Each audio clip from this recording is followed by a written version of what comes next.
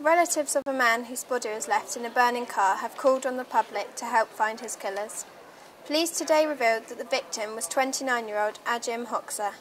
Now they are trying to find who did it, why, and how they made their escape. Today, his family paid tribute to Mr. Hoxha and said they could not understand why someone would kill him. In other news, a former England amateur boxer has told a court of the moment he was left covered in blood when a Saint star allegedly smashed a glass or bottle into his face in a Southampton bar.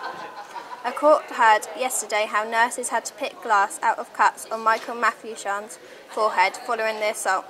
Saint striker Lee Barnard denies one charge of assault occasioning actual bodily harm. We also report on the residents demanding a safety review at a Southampton block of flats engulfed by a fireball. And in sport, Nigel Adkins has called on his players to use pain of losing at Reading to spur them on to victory at Peterborough tonight. For all this and more, pick up a copy of today's Daily Echo.